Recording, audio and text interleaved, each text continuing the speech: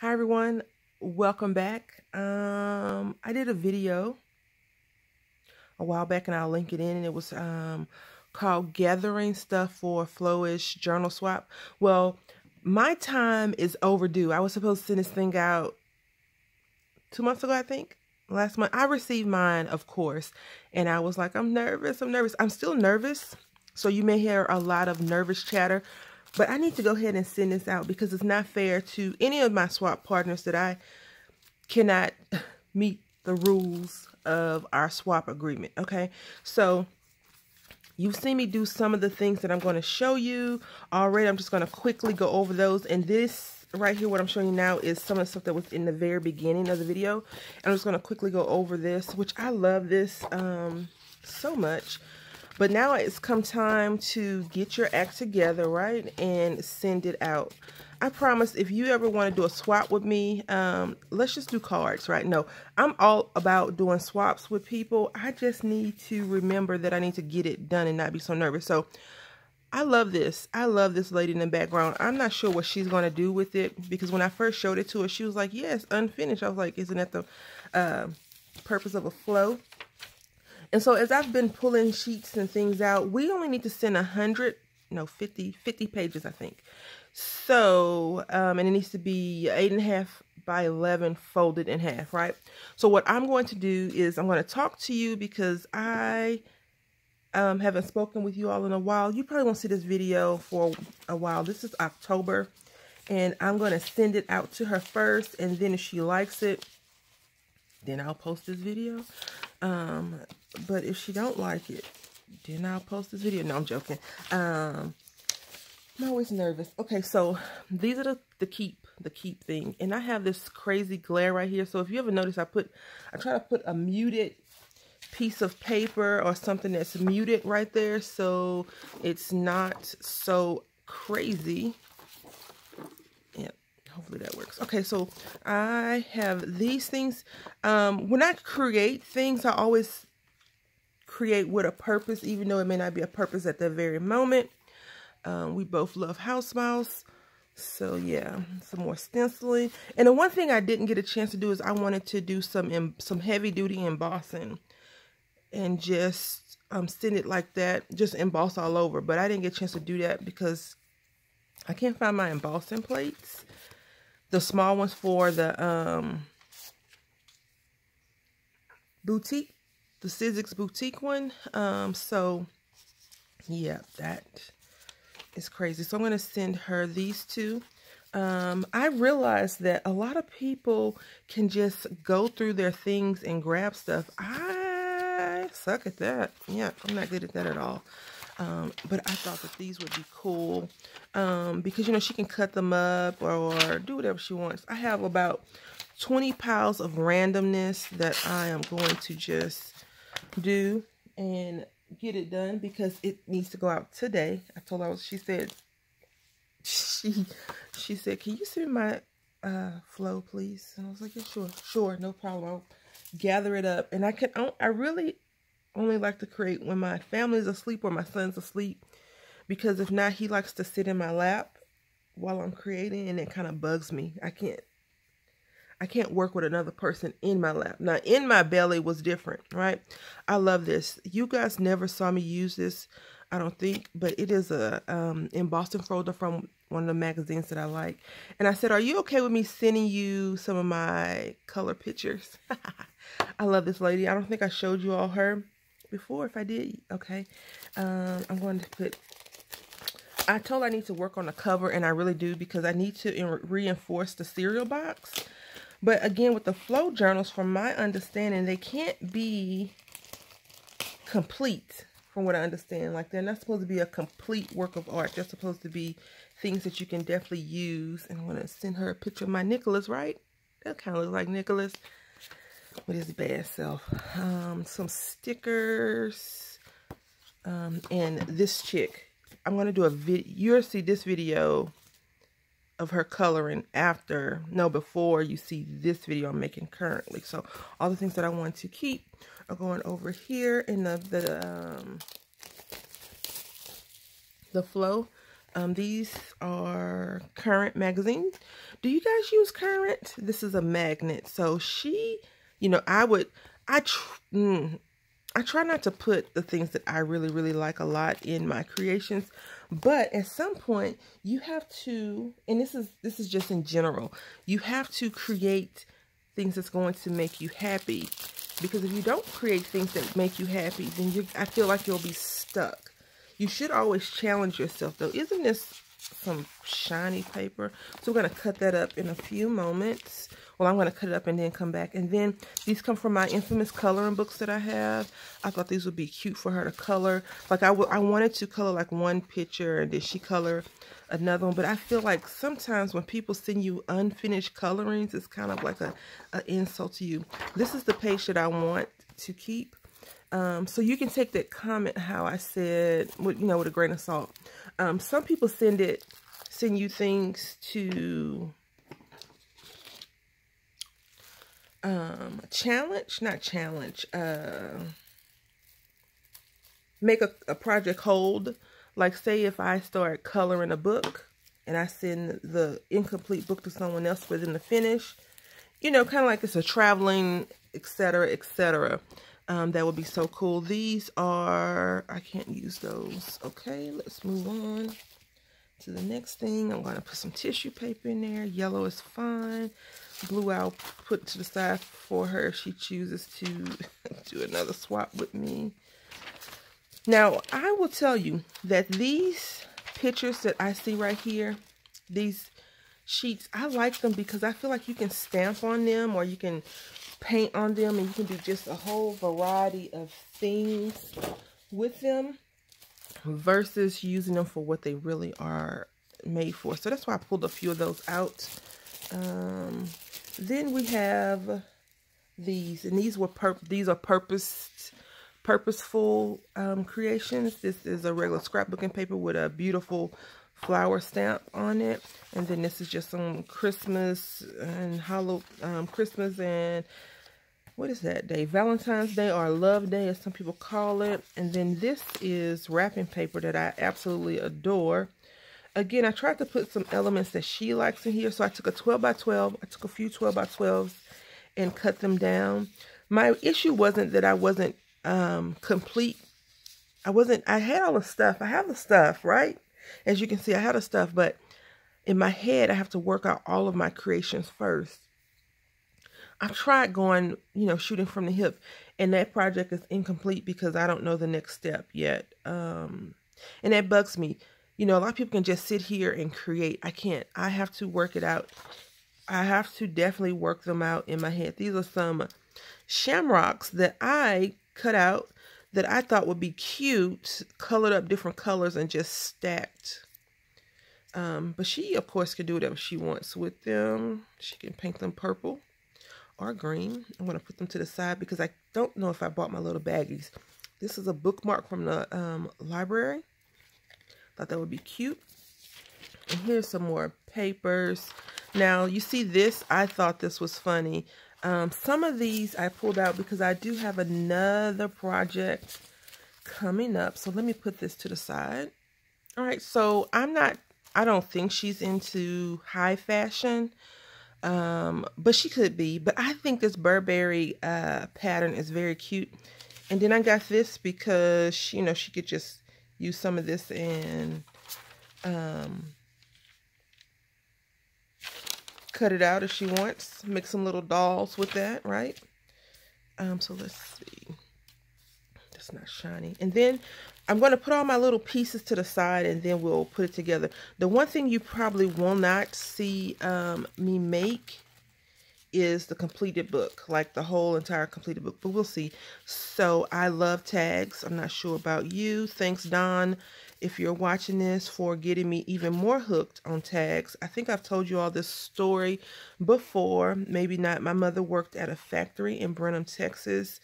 Um, I don't remember what it was, and I can't call her up. I have to ask my aunt later on if she remembers um, what the name of that factory was. But she would come maybe it was a, a, a cleaners, a huge cleaners. I'm not sure. Because, you know, back in the day, that's what women did um, if they weren't homemakers.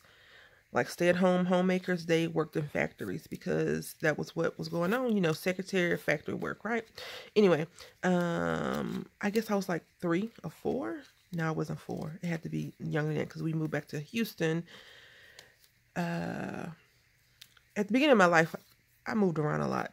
Um, and then closer to all the rest of my life, I moved around a lot as well. But anyway, she would come home with a big ring of tags, and I'm thinking it was a cleaner's. It was definitely a factory. She worked at a factory. I remember her coming out um, sometimes with her head covered in those little white uh, bonnet, not bonnet, you know, like the food workers, but it was definitely not at a food place. So, yeah. These are little tags, you know, you can follow. She can do whatever she wants. Um, yeah. I love these things. And, you know, you, you don't want to overflow. I get it, flow. Um, You don't want to overflow anything with one particular thing. I think I would probably do best or better with a theme. A themed um, swap. Maybe, I don't know. Even my um, 12 by 12 that I did with Bear Crafty Bonet uh, was late. She had already sent me hers. Because the thing is, I am not a faithful crafter. I realize that now. Like, I am not faithful to projects when they are huge. I need distractors. I need other things to get my attention. And that's way my brain is still working out how to actually put together or create or do different things um, for the, the massive project. Uh, I'm not sure how you all are. You may you may be like, oh, I can get it done. I've seen people, you know, I've watched wonderful creators sit and do a project from start to finish. I thought these would be cute. You know, I have a love for buttons, um, and she has a love for uh, uh, pink, you know, like beautiful pastel colors. So I thought this would be uh, very pretty for her to look at cut up like right here says Haley she maybe can put um, her name her um, family's name or this little duck I love that duck you know she can probably fussy cut that out and put it on the project and this is just giving you some idea. Look at this little dress, though. Isn't that little dress cute? Um, I know I shouldn't have got into it. Look at this. I love that. I may try this. I may try that. We'll see. Because I have a son, right? So I can do none of this stuff for my, my son. Although, although I probably could do this one right here. Um, and have his name dangle for his little birthday uh, in a couple of years. Look at this, though. Isn't this? I love it. I love it. Yep. All right, so there we go. I think after this project, I may be ready to tackle my junk journal, right? So this right here is food coloring. Um, I think my water to mixture ratio is off a bit. But this is food coloring. Uh, blue and red did not make a good purple, but I love how it kind of looks dingy. So I, I, won't give her that you know, send her all the dirty, dirty looking ones. But I'll send her a few crispy critter ed edges. And I just put in the oven and then I put some yellow.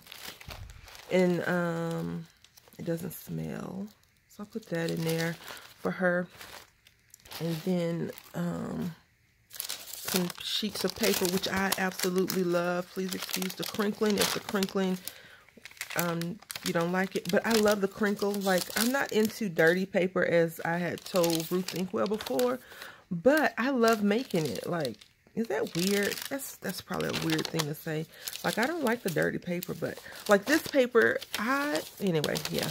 No need to continue to make myself look even more crazy than I already am. Okay, so we have this. And you guys saw me do this before. I think this is... I love this stamp. This piano stamp is amazing. I love Prima. Um, they create, in my opinion, some wonderful things. These are some stamps, uh, Dylusion stamps. I think that she could be able to fussy cut these out if she so chooses or leave it as is. And this is definitely something that I made in one of the books that I showed you guys. And she said that she liked the book concept. So I thought I could throw these in here for her and she could do something with them. And I'm giving her some of, you know, some of the cool characters out of there. And then we have this right here. So I'll put this to the side. And um, I think that's the beauty.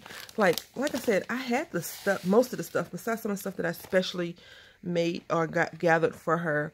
Um, it's just getting ready to put all this together is a very daunting, daunting, daunting task um, for me. Um, you guys probably are like, Brandy, it's nothing to it. It's the easiest thing in the world. Don't don't be such a chicken. And um, I will tell you, I am a chicken, as you all know. Uh, but that's okay. I mean, you know, this too shall pass. I'll probably always be a chicken. But I'm all right with that. I really am. Um, so, in the comment section, up until this point, tell me if you could use, what would you do with some of these things? Like, uh, what would you make? What would you do with these projects? Um, Wondering Dreamer 555 gave me that. Isn't that so pretty? It's so cool that I am able to incorporate other things that other people have given me in a flow um, book, right? Because it's so nice sharing. I don't want to share all of my stuff with people um, because I'm stingy like that sometimes. But I don't mind. I don't mind um, sharing with people.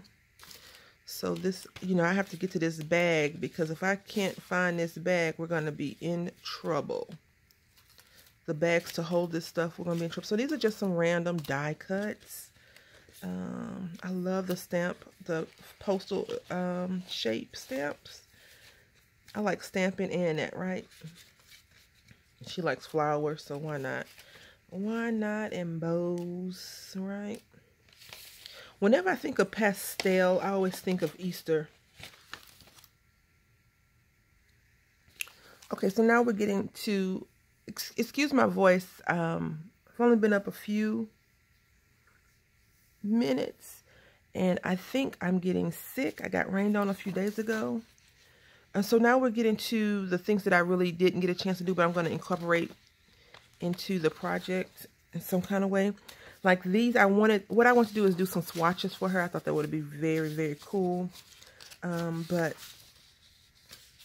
it didn't happen. So some of the stuff you see me sliding over here, I got off the internet. Um, random spots. If you're actually looking for the exact location, you can always send me a uh, email at lefthandedcrafter at yahoo.com and I will try and find the location. I will tell you these came off of a Copic website, a Copic coloring uh, swatch I looked it up on Pinterest first. So you can just type in Copic marker swatches or something like that and that will come up for you. But I want to do swatches with color pencils, but it didn't happen. Um, maybe next time, right? And I don't want to put too much of the same thing in there. So, you know I like snowmen, right? um, yeah because maybe she'll do another swap with me and I won't be so behind on the times. Okay, so here are my doilies that I told you that I did in brown. And um, I don't know what they smell like. Um, they don't smell bad. But I did uh, do some tea staining and it's light tea stain. I didn't do a very good job. These just look aged very well now, which is it's a good thing. I did these a while back because, you know, I've been doing little projects randomly here and there. The thing I want to tell you about this, these came from, um, I want to say Dollar Tree. Either Dollar Tree or these are Wilton. So these are the Dollar Tree doilies or Wilton that I picked up from, uh, I want to say TJ Maxx. Be careful with the edges because they will fall apart.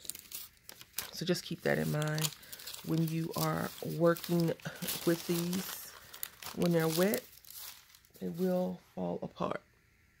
Okay, so I pulled out my iris box, and I learned this from two people, Ruth Inkwell as well as Gracie21 when I did um, her Christmas in July collaboration.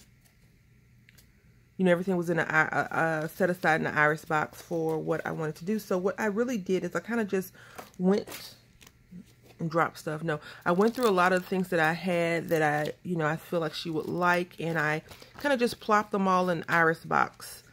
Um, unfortunately for me, I don't have a win factor and that means you know like say when stop i'm good don't give me any more and so i just it's over flooded it's overflowing with stuff and um well you know i'm from texas so it's like go big or go home no i'm joking well not really i am from texas and they do say that right so i thought this would be cute as a stencil, right? So hopefully um, you're watching all of it and you'll you'll see that. Now she could use this as a stencil. Does that make sense to y'all? I hope so. Um, so here are the little bags and um, some more dollies. These are all prefabricated dollies that I thought would be cool for her. I do realize that I probably will be over the a page. If I showed you the book she sent me, she says that she still needed time, but she sent mine anyway. It's amazing. It's super, it's just beautiful. Um, it's very, very well thought out, well planned. It has a lot of my personal life elements in there. Um, has stuff in there for the bait. It's just amazing. Uh, very, very thoughtful. And it made me cry. Uh, yep. So here we go. And then I, I collect these. Did you guys know that? I collect cards. So I like them a lot. Here's some more dollies. And more pictures. These came from um, mm, Hobby Lobby. And I am going to use those in some other projects as well. Um, oh, I have to get something that's not in this stack. But I want to get a lot of little cutesy things that she could uh, put in her projects you know, as stickers. We all need like random stickers to throw on stuff, right? I'm going to hold back on some of these dollies though because I think I probably overdid it with the dollies. I do want to give her some of my dollies, like the handmade ones. And this comes from Dollar Tree and she don't like frogs that much, but guess who does?